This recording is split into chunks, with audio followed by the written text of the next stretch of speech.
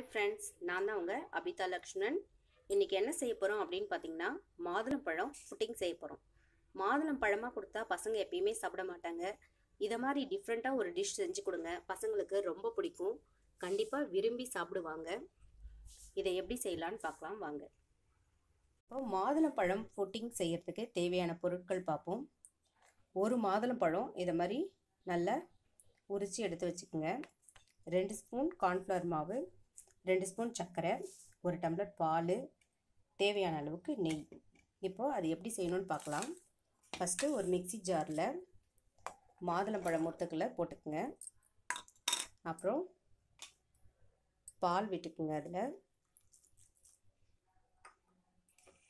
இப்போது இதில் நம்ம இந்த கார்ன்ஃப்ளவர் மாவு சர்க்கரை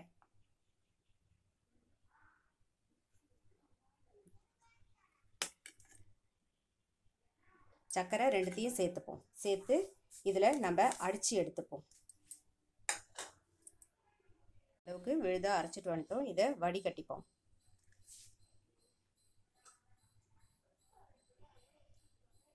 இதை நல்லா வடிகட்டி எடுத்துப்போம்.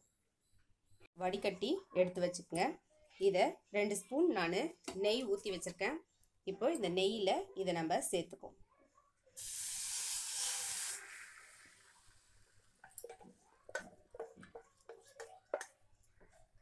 இது நல்லா கட்டியாகிற அளவுக்கு நம்ம இதை நல்லா இது பண்ணிப்போம்.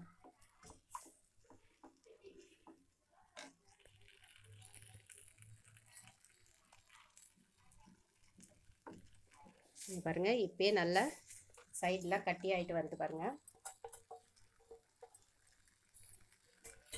இந்த மாதுளம்பழம் புட்டிங் மாதுளம்பழம் சாப்பிடாத குழந்தைங்க கூட நல்லா ஈஸியாக சாப்பிட்ருவாங்க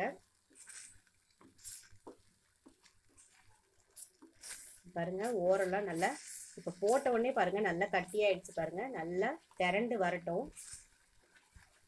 இன்னும் ரெண்டு நிமிஷத்தில் நம்மளுக்கு மாதுளம்பழம் புட்டிங் ரெடி ஆயிடும்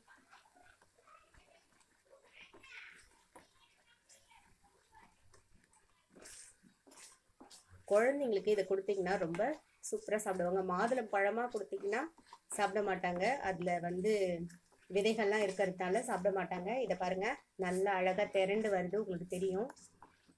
நம்ம ரெண்டே ஸ்பூன் நெய் தான் விட்டோம். அதுக்கே பாருங்க எவ்வளோ அழகாக திரண்டு வருது பாருங்க. இன்னும் ரெண்டு நிமிஷத்தில் நம்மளுக்கு மாதுளம்பழம் ஃபுட்டிங் ரெடி ஆகிடும் இது ஆறுனதுக்கு அப்புறம் இதை நம்ம ஒரு பவுலில் மாற்றி வச்சுப்போம். நம்ம மாதுளம் ஃபுட்டிங் ஆறிடுச்சு. இப்போ ஒரு ஜ கிணத்துல மாற்றி இதை நம்ம ரெஃப்ரிஜிரேட்டட் பண்ணுவோம். இப்போ அதுக்கு முன்னாடி அதில் கொஞ்சோண்டு மாதுளை பழத்தை இப்படி ஸ்ப்ரெட் பண்ணி விட்டுப்போம். நம்மளுக்கு புட்டிங் மேலே நல்லா மாதுளம்பழம் இருக்கிற மாதிரி இருக்கும். இப்போ இந்த புட்டிங் எடுத்து இதில் போட்டுருவோம். இதில் போட்டுட்டு ஃபுல்லாக பசங்களுக்கு ஜல்லி மாதிரி இருக்கும் அது சாப்பிட்றதுக்கு. ரொம்ப பிடிக்கும் பசங்களுக்கு.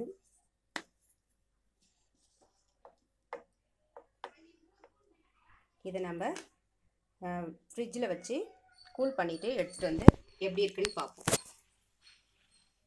இங்கே பாருங்கள் நம்ம இப்போது ஃப்ரிட்ஜில் வச்சு எடுத்துகிட்டு வந்துட்டோம். நம்ம மாதுளம்பழம் புட்டிங் இப்போ ரெடி ஆகிடுச்சு இப்போ பாருங்கள் அழகாக ஒரு பிளேட்டில் நம்ம வச்சுருவோம்.